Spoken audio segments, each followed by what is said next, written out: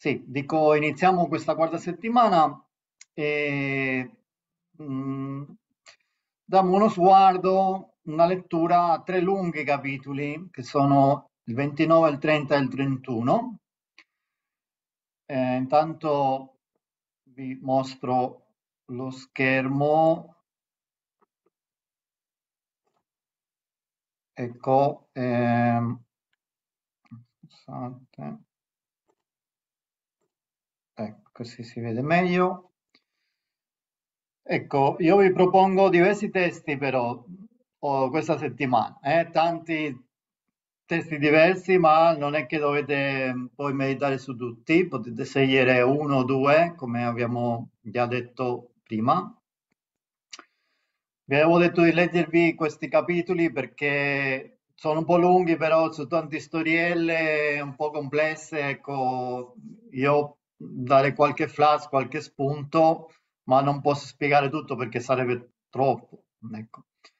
Allora, questi tre testi, eh, l'arrivo di Giacobbe alla casa di Lavano, eh, capitolo 29, versetti del primo 14, poi il rapporto tra Giacobbe e Labano, soprattutto quella parte eh, che sottolineo lì, capitolo 29, versetto 15 al 30, ehm, ah no, 30-43, vabbè, quello sarebbe tutto, però poi nel, nel foglio vi, vi, segno proprio la parte che sarebbe più interessante. E la fuga di Giacobbe sono quelli tre che io un po' vi sottolineo di più per mm, meditare. Ma ci sono questi altri, la, la lotta delle due sorelle, la stratagemma del bestiame, il patto, eh, eh, che ve li, ve li offro anche, vi dico qualcosa, poi vedete voi, no? Vedete voi quale può essere più adatto a voi, più interessante. Questa volta c'è tutta un, una rosa di, di, testi diversi. Ecco, ehm, il primo è questo arrivo. Ehm, allora, Giacobbe finisce il suo viaggio con gioia e emozione. Mm, e Labano, che sarebbe eh, lo zio, cioè il fratello della mamma, lo accoglie con ospitalità perché lui è della famiglia. Eh, e poi qui inizia tutto quel rapporto che poi parleremo di, del nipote con lo zio, no? di Giacobbe con, con questo Labano, che è molto interessante. Ecco. Su questo, su questo primo brano, che ha trovato tutta una storia lì delle pecore, del pozzo, quando lui arriva, mm, vorrei sottolineare alcuni dati, no?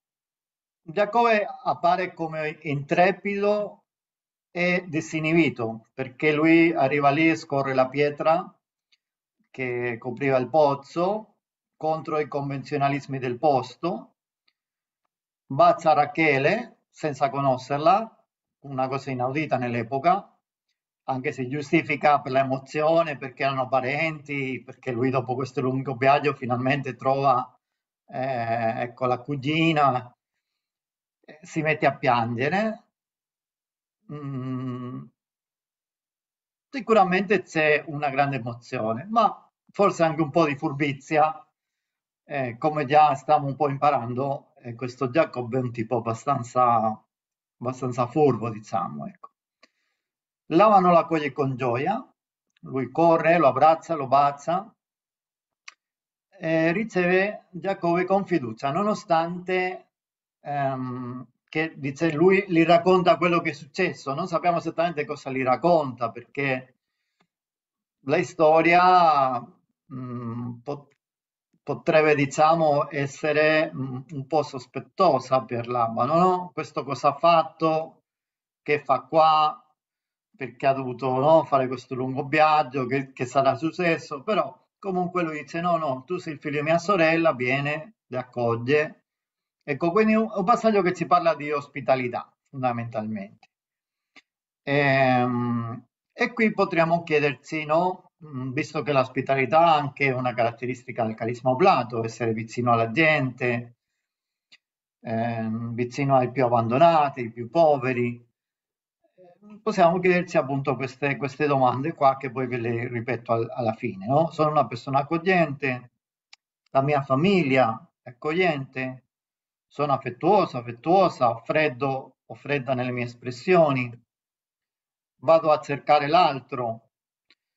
Eh, lo stile missionario è parte del carisma oblato, quindi fare il primo passo, amare per primi. Anche Papa Francesco sottolinea questa cosa, no? Approfitto di tutte le occasioni per andare verso l'altro, per metterlo in Dio. Questo dovrebbe fare un missionario, no? Andare verso l'altro per metterlo in Dio. Lo dico così, no? Mettere in Dio può essere tante cose. Non è necessariamente l'annunzio esplicito di Gesù Cristo, no? Può essere metterlo nell'amore, può essere semplicemente una parola, un sorriso, confortare, aiutare, tanti, tanti modi no? di testimoniare l'amore di Dio. Mm, la mia comunità aperta, possiamo pensare perché dell'AMMI nella sua comunità AMMI, perché appartiene a altri gruppi, sua, nel suo gruppo, nella sua parrocchia. Ecco, chi viene da fuori si trova al proprio agio.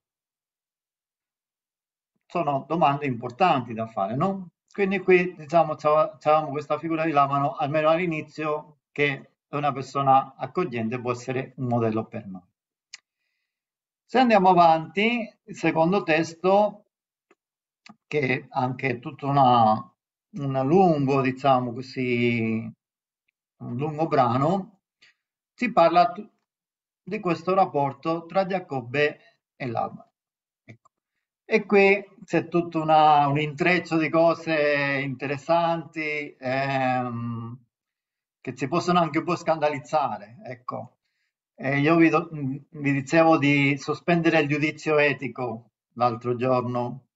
E qui è importante perché Giacobbe avrà due mogli, sposa una, poi sposa la sorella, poi viene...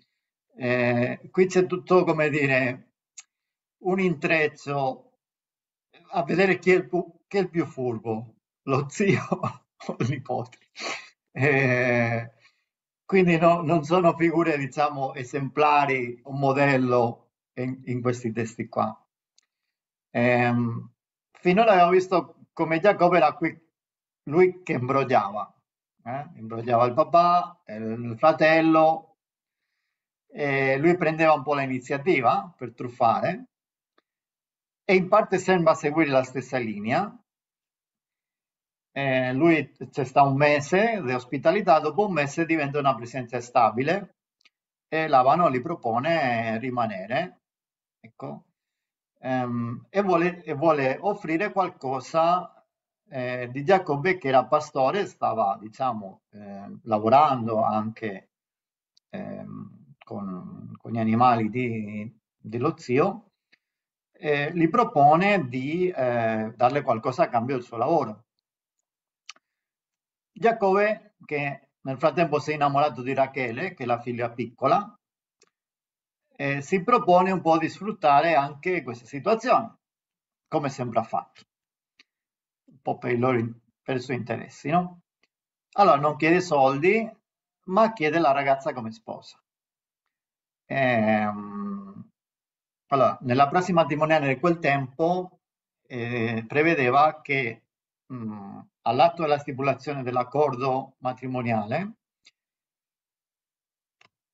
mh, sospendiamo il giudizio etico, ho detto no, perché in quel tempo, come succede ancora purtroppo in, in alcuni paesi no, orientali, ecco io sono stato al Sahara, anche lì così, tante volte i matrimoni non sono matrimoni purtroppo dico no, eh, per amore, no, ma sono accordi no, tra le famiglie, tra i genitori, tra i nonni che si mettono d'accordo. Ecco, allora, in quel tempo eh, mh, era previsto che il futuro sposo versasse una somma di denaro eh, all'avente potestà sulla sposa, che si chiamava Moar, Moar, Moar ehm, che veniva considerato proprietà della sposa. Quindi lo sposo dava questo al, al, papà e poi una volta che si sposavano, questo eh, denaro passava alla sposa. E, difatti questo si parlerà dopo nel capitolo 31, versetto 14, sia Rachele che Lia si eh, lamentano che il papà si è preso nostro denaro, dicono loro, no? Eh, perché di fatto nel loro caso la somma di denaro era stata sostituita dal servizio che Giacobbe doveva fare a, a Labano. Cioè quello che Labano gli propone, lavora sette anni per me e questo sostituissi, diciamo, quella, quel denaro che dovresti darmi e io ti darò la mia figlia come sposa. Ecco, ehm, mm, dice eh, appunto così Giacobbe servì sette anni per Rachele e gli sembrarono pochi giorni, tanto era il suo amore por, per lei, no? Vabbè, un tocco romantico si voleva in queste storie un po', ecco, eh, quindi anche Giacobbe è uno che ha un, un cuore, no? Si innamora. Eh, ebbene, e questo è importante, no? Anche ci dice qualcosa pure a noi, no? Che tante volte la stanchezza non dipende tanto del, dell'energia in sé o del lavoro in sé, ma delle motivazioni. Se facciamo le cose per amore, per vero amore, non ci stanchiamo, come Giacobbe, no? Che dice che sembrarono pochi giorni. Forse ci stanchiamo fisicamente, però non ci stanchiamo nell'anima. Questa è una, una cosa anche che dice Papa Francesco nella Evangelii Gaudium molto interessante, no? Dice, lui dice il problema non è sempre l'eccesso di attività, ma soprattutto le attività vissute male, senza le motivazioni adeguate, senza una spiritualità che eh, permei le azioni la renda desiderabile.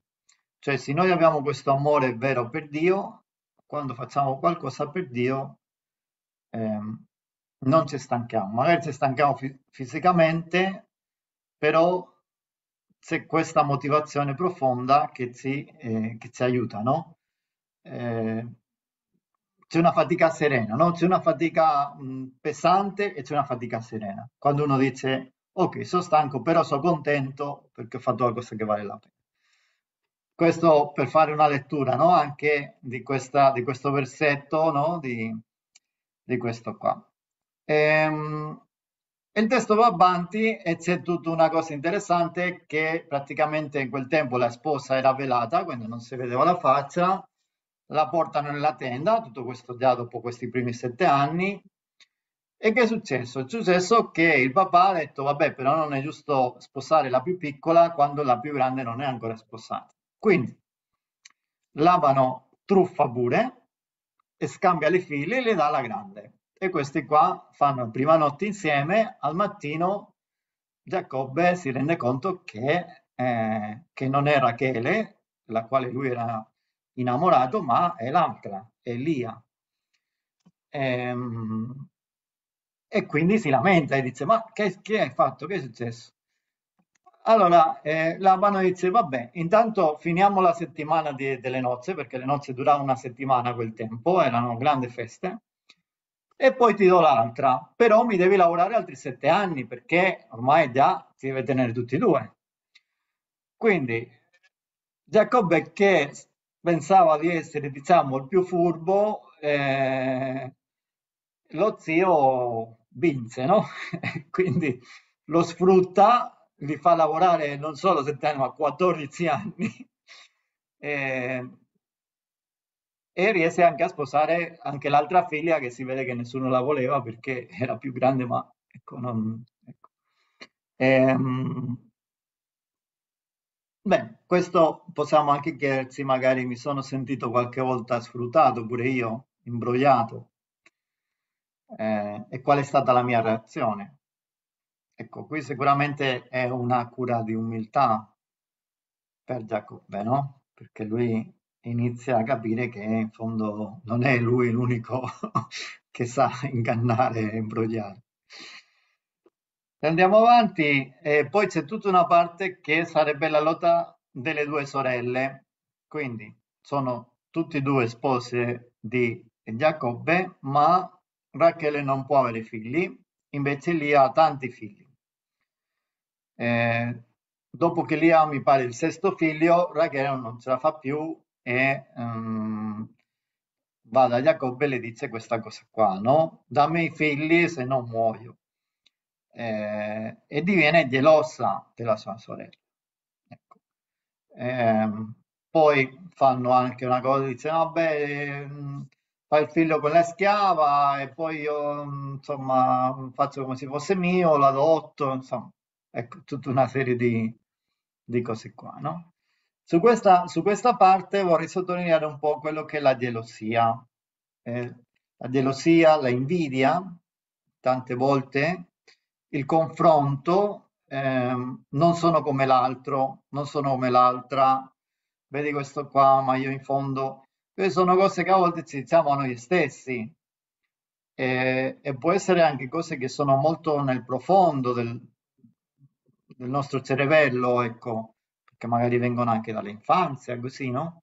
Ecco, io non sono come gli altri, valgo di meno, sono più brutto, sono meno intelligente, sono, che ne so. Ecco, questo, questo confronto che a volte continuamente noi facciamo eh, senza considerare ehm, la bontà di quello che siamo, no? Ognuno siamo diversi con i nostri limiti, ma anche con i nostri talenti e Dio ci ha fatto così e Dio ci vuole così.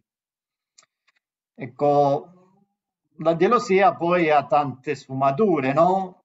Si può anche camuffare, a volte accusando l'altro. Eh? Eh, di fatto, ehm, se entriamo un po' nella testa di Rachele, lui, lei forse penserebbe, no? Non basta che si, che si presa il mio marito, che era di lei che, era, che doveva sposarsi, non l'altra, no? Ehm, sì, eh, è vero a metà, diciamo, perché in realtà non è stato lì a no, diciamo, fare la cosa, è stato papà. E, sono queste mezze verità no, che noi a volte usiamo un po' per giustificare, mm, a volte ci convinciamo noi stessi delle nostre proprie mezze verità eh, per difenderci noi stessi no? e dare la colpa sempre all'altro, sempre l'altro che che ha la colpa, no? Però magari il problema a volte ce l'abbiamo noi, non è che ce l'ha l'altro, no? E incolpare noi stessi, no? A volte io mi faccio colpevole di una cosa che in realtà non è responsabilità mia. Eh, possiamo avere una bassa autostima o anzi quello che i psicologi chiamano a volte no, bisogno di umiliazione, che ancora più dannoso, è, è proprio ti deve, no, come dire, punire a te stesso, bastonare continuamente, no? Queste cose Dio non le vuole, Dio non le vuole. Mm. Bene, qui diciamo ci sono tante cose che possiamo chiederci, no? Ecco, ehm, nel passaggio ci sono due cause di gelosia, no? Un po' i favoritismi di Giacobbe, è vero che Giacobbe voleva più bene eh, Rachele, però Rachele poi non è contenta, no? Sembra che dovrebbe essere lì un po' a, ehm, a, lamentarsi. Invece Rachele non è contenta perché non ha figli, no? Però invece ha l'amore del marito. Ecco, quindi a volte non siamo mai contenti, no? Se abbiamo una cosa vogliamo quella che ha il vicino, no? Come si, si dice, no? L'erba del vicino è sempre più, più verde della nostra. Ecco, ehm, poi se andiamo avanti c'è tutta questa eh, strategia col bestiame, no? Ecco, è un passaggio un, un, po' difficile di capire, un po' strano per noi perché non conosciamo bene la cultura e le abitudini di, di questi pastori, pastori seminomadi dell'epoca.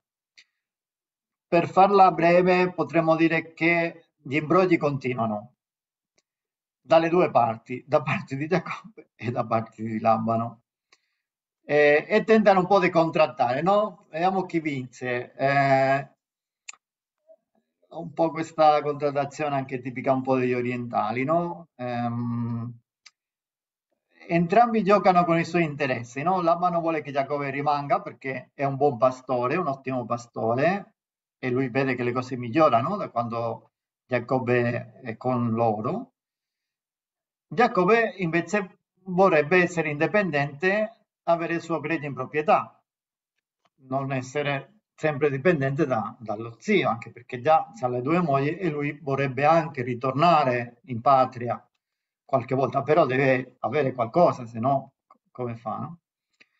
E quindi c'è tutto questo imbroglio, no? prende le, le pecore mh, strane, no? lui dice no, non ti preoccupare, io prendo quella, quelli che non sono né bianche né nere, che hanno qualche macchia, che erano, come dire, quelle più strane, un po' più eh, imperfetti.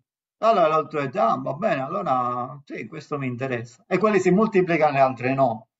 Un po' perché Giacobbe mh, ha trovato delle strategie Diem per farlo, un po' perché c'è Dio che benedisse Giacobbe, questo è un po' anche la, come dire, il ritornello un pochettino del testo, no? Cioè la promessa di Dio si compie anche in tutto quello che Giacobbe fa, anche se non è fatto bene, anche se un po' lo fa per imbrogliare, nonostante Dio comunque eh, mantiene questa promessa di fedeltà.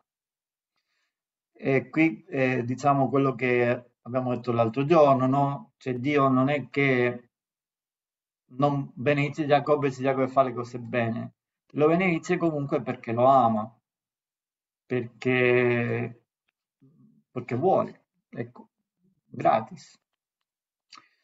Ehm, a un certo punto, ecco, ehm, Giacobbe decide di di tornare in patria. Prima tenta di farlo, di, di dirglielo a Labano, questo dice sì va bene però fai ancora un po', cioè si vuole che lo vuoi ritenere. A un certo punto Giacobbe eh, fugge. Eh, infatti all'inizio del capitolo 31 si legge allora Giacobbe si alzò, caricò i figli le mogli i suoi camelli e condusse via tutto il bestiame e tutti gli averi che si era acquistato, il bestiame che si era acquistato in Padam Aram, per ritornare da Isacco, suo padre, nella terra di Canaan. Labano era andato a dosare il gregge e Rachele rubò gli idoli che appartenevano al padre. Giacobbe eluse l'attenzione di Labano, l'arameo, non lasciando trappelare che stava per fuggire, così poté andarsene con tutti i suoi averi. Ecco, allora, ci sono tre motivi per i quali Giacobbe vuole fuggire. Il primo motivo è perché è diventato abbastanza ricco per poter vivere eh, con la sua famiglia per conto suo. Il secondo è, ehm, se leggete un po' il capitolo precedente, i figli di Labano eh, parlano male di lui e Lavano ha cambiato il suo atteggiamento, è diventato ostile, perché loro eh, sospettano che questo sta truffando per prendere più eh, pecore, più capre per, per lui, no? E continuamente cambiano, come dire, fatti, no? Dice, allora mi prendo quelli neri e bianchi, va bene, allora quelli neri e bianchi si moltiplicano. Ma poi Labano dice, allora no, no, no, prendete quelli solo neri, va bene, allora il nene si moltiplica, cioè qualsiasi cosa fa va sempre bene per, per Giacobbe, no? Quindi tutto il resto per invidia sicuramente si, si arrabbiano. Questa è la seconda ragione. La terza ragione, che è quella che forse ti interessa di più a noi, è che lui ha un altro sogno dove l'angelo di Dio, Dio in qualche modo, gli dice di andarsene. Mm? Eh, dice, è arrivato il momento, eh, ora puoi tornare. Quindi ai due, due, due primi motivi più umani si aggiunge questo terzo motivo teologico. Dio si mostra dopo tutto questo tempo, 14 anni, eh? erano passati da, da quello che abbiamo visto l'altro giorno, che sono tanti. Dopo tutto questo tempo ricorda questa esperienza del sogno che abbiamo visto la settimana scorsa. E le dice, vedi, io ti ho benedetto. Quello che ti avevo detto l'ho, mantenuto. Ecco, Dio è stato la causa principale per la quale Giacobbe è stato benedetto, non i suoi inganni, non le sue truffe, non la sua intelligenza o la sua eh, bravura come pastore. Ora tocca riempire il voto che lui aveva fatto. Lui aveva detto, se tu mi benedizi, allora io tornerò e tu sarai il mio Dio. Ecco. Eh, quindi sicuramente Dio ha fatto la sua parte, ora tocca anche a Giacobbe fare la sua.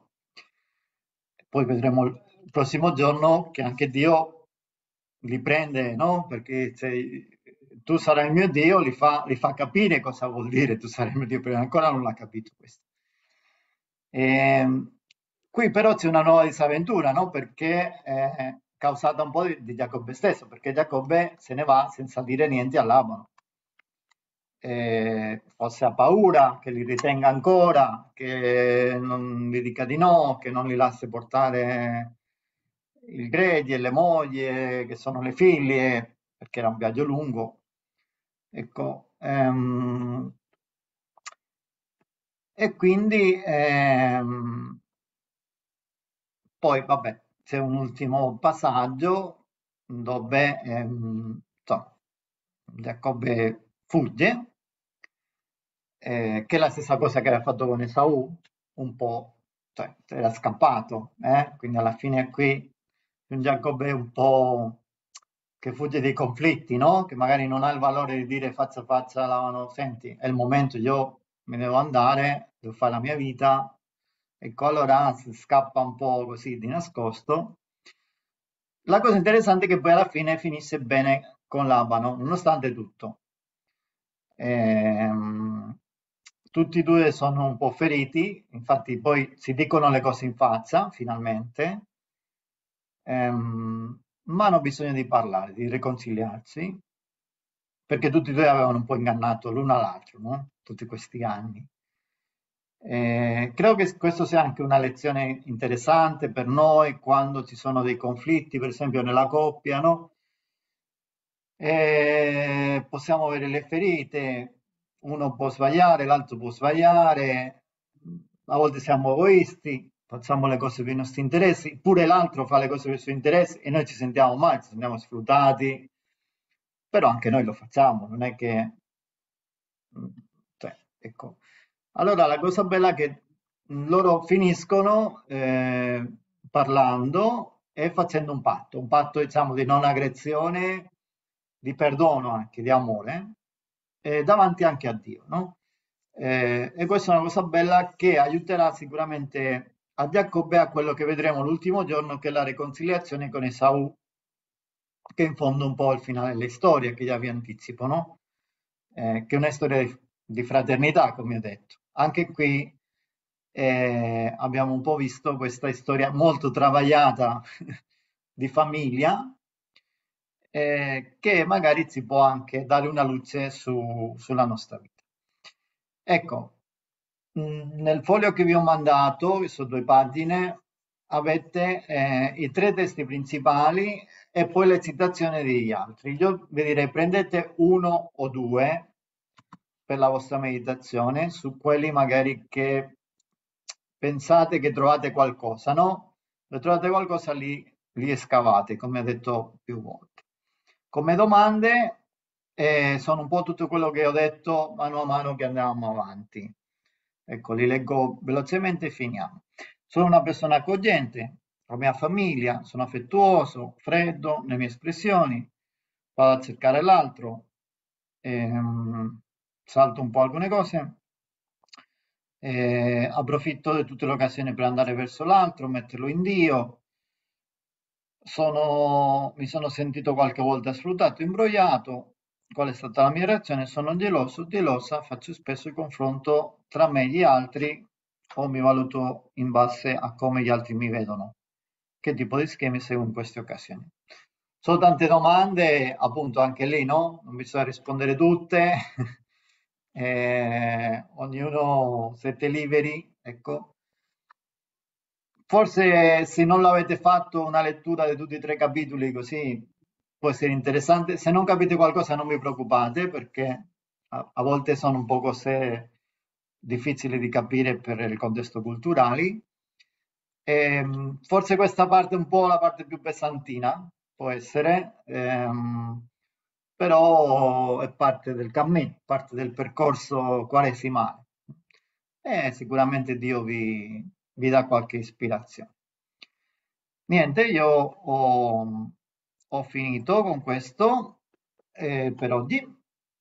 E, um, vi ringrazio come sempre per, la, per il vostro ascolto e vi auguro appunto una buona settimana, una buona preghiera, una buona riflessione su questi testi.